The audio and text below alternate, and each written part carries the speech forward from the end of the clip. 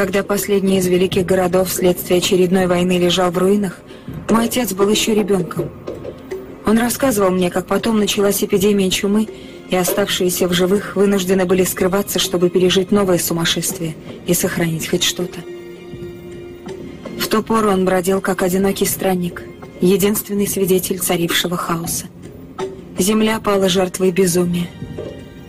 Он вспоминал о зиме, тянувшейся целых три года, и о том, как не переставая падал грязный снег. Он видел океан, бесплодный, отравленный, почти умерший. Люди на протяжении долгих 16 лет взирали на небо, моля лишь о том, чтобы гигантские легкие вновь заработали. А потом океан как будто издал глубокий вздох облегчения.